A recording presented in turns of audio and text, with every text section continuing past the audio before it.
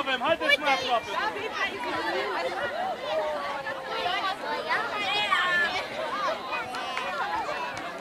Haideți mai aproape, vă rog, nu mușcăm.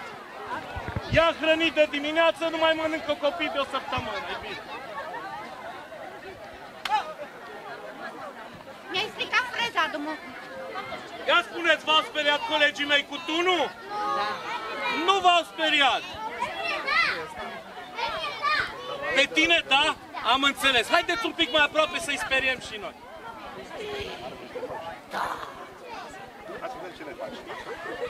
Dragilor, bine v-am găsit! Noi suntem mercenarii din Aserculis. Cine știe ce înseamnă Aserculis? Aserculis este prima denumire istorică a orașului Târgu Mureș. La 1234. Am impresia că stăm un pic așa mai adormiți. Ce ziceți? Vreți să ne trezim un pic? Hai să vedem dacă reușesc colegii noștri să încarce tunurile până atunci. Bun. În fața voastră aveți câteva personaje.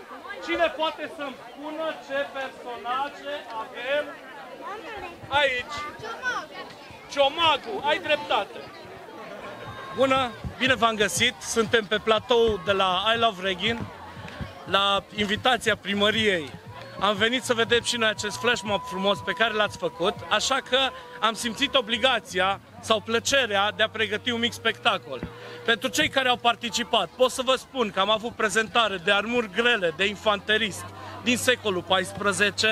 Am povestit foarte puțin și pe scurt despre heraldica, adică simbolistica cavalerilor. Am vorbit despre virtuțile cavalerilor și ce înseamnă să devii un cavaler și cât trebuie să muncești să devii un cavaler și mai important, cât de mult trebuie să asculți ca să crești mare și să fii cu minte, ca mai apoi să devii ca noi, cavaler.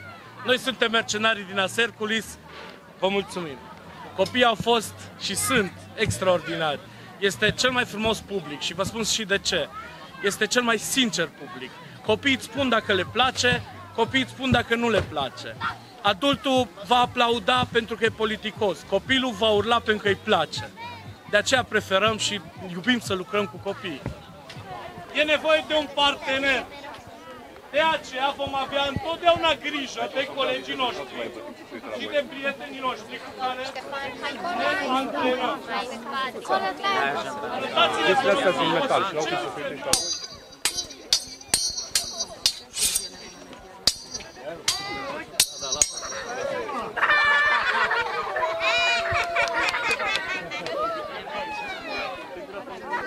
De ce credeți că l-a ajutat să se ridice?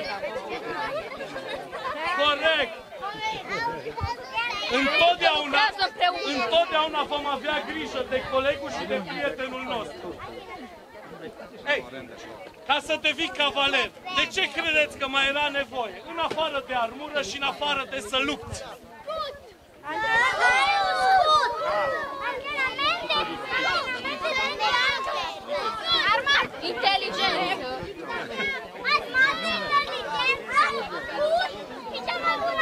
Ei, hai să facem un felul următor.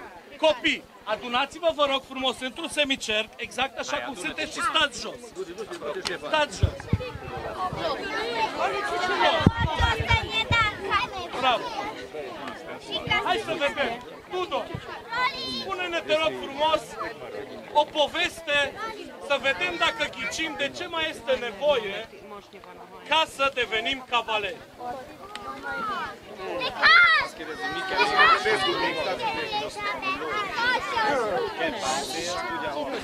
Hai să vedem. Tudor ne va spune o poveste și noi trebuie să ghicim de ce este nevoie din acea poveste ca să devenim cavaleri. Cred că am găsit povestea potrivită. Uh, a existat odată o mamă care avea trei fii. Unul mare, unul, mic, unul mijlociu și unul mic.